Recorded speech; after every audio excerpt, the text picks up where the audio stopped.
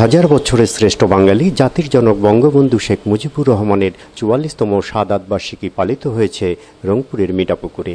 উপজেলা পরিষদ চেয়ারম্যান ও আওয়ামী লীগের সাধারণ সম্পাদক জাকির হোসেন সরকারের নেতৃত্বে শোক রেলি সটিবাড়ি হতে পাঁচ কিলোমিটার অতিক্রম করে মিঠাপুকুর কেন্দ্রীয় শহীদ মিনারে পুষ্পমাল্প অর্পণ ও বঙ্গবন্ধুর প্রতিকৃতিতে ফুল দিয়ে শ্রদ্ধা জানান হাজার হাজার মানুষ। পরে মিঠাপুকুর শাপলা চত্বরে শোকসভা অনুষ্ঠিত হয়। এতে উপস্থিত ছিলেন মিঠাপুকুর উপজেলা পরিষদ চেয়ারম্যান ও আওয়ামী লীগের সাধারণ সম্পাদক জাকির হোসেন সরকার।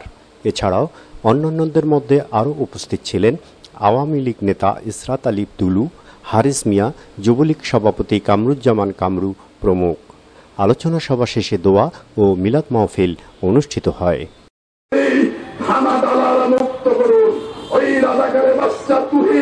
চব্বিশ ঘণ্টা থানায় কোন অধিকারে বসে ষড়যন্ত্র করে, অনুষ্ঠান ধর্মঘট করে, রাস্তা অবরোধ করে মিঠাপুকুরের মানুষকে পাকিস্তানি শাসক গোষ্ঠী, তারা আমাদেরকে ক্ষমতা না দেওয়ার ফলশ্রুতিতে